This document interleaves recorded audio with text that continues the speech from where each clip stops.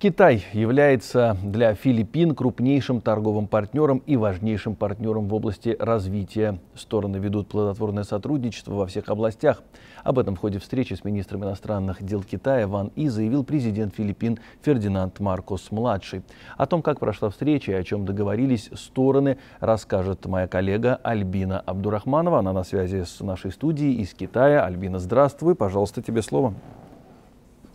Здравствуй, Олег. Ну, а в первую очередь стороны договорились повышать уровень сотрудничества и урегулировать южно, э, проблему Южно-Китайского моря путем диалога и коммуникации. Президент э, Филиппин э, Фердинанд Маркос-младший выразил надежду на то, что стороны и впредь будут продвигать сотрудничество в различных сферах, а проблема Южно-Китайского моря, по его словам, не является определяющей двусторонних отношениях и не должна становиться препятствием расширения связей.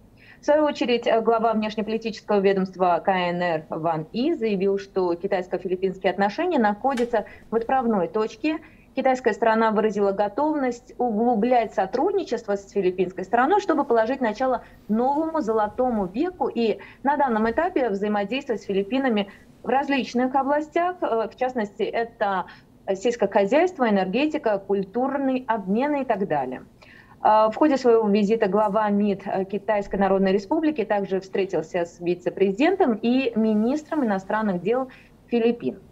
А, продолжать развивать двусторонние отношения решили также Китай и Узбекистан. Состоялись онлайн-переговоры между председателем постоянного комитета Всекитайского собрания народных представителей Ли Дженшу и э, председателем Сената Узбекистана Танзилой Нарбаевой.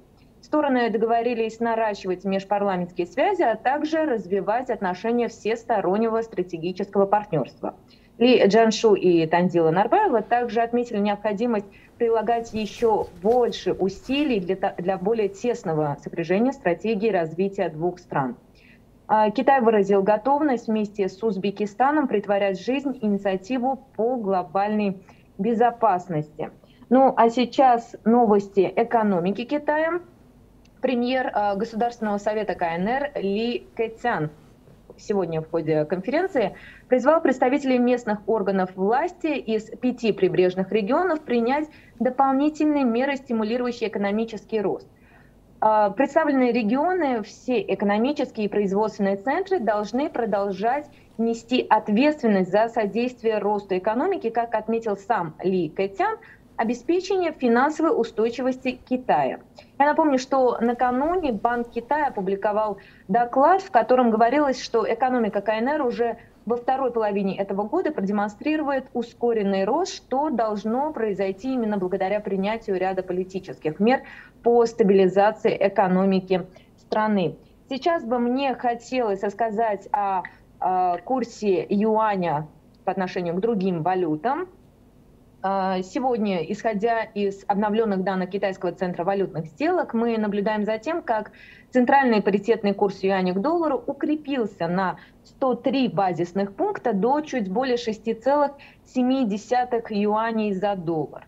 Что касается курса юаня к другим основным валютам на межбанковском валютном рынке страны, то на сегодняшний день 7 юаней а, оценивается за евро, около 5 юаней за 100 йен, чуть более 8 юаней за фунт стерлингов, около 9,5 рублей равен 1 юаню. Ну, что касается маната, на сегодняшний день 1 манат равен 3 юаням 94 дзяо.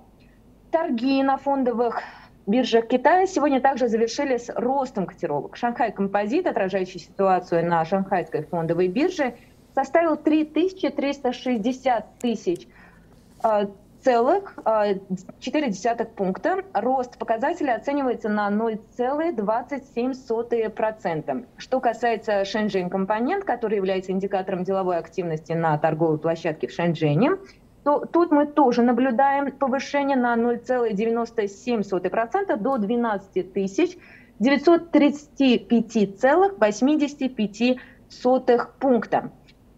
Что касается валютных резервов Китая по состоянию на конец прошлого месяца, то есть июня, они составляли более 3 триллионов долларов. Сокращение валютных резервов по сравнению с майскими показателями оценивается в 56,5 миллиардов долларов. Олег, у меня, пожалуй, на этом все. Альбина, большое спасибо за подробную информацию. Альбина Абдурахманова из э, Китайской Народной Республики э, рассказала об экономике и не только.